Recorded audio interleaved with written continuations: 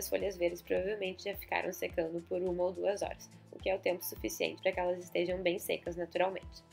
Então eu guardo elas em potes, de preferência não muito amontoadas, para que elas não mantenham umidade entre as folhas. Assim elas duram mais tempo. Uma dica boa, se vocês têm pouco espaço e precisam apertar mais as folhas, é colocar um paninho ou um papel toalha entre elas. Eles absorvem a umidade, fazem com que elas fiquem mais secas durando mais tempo.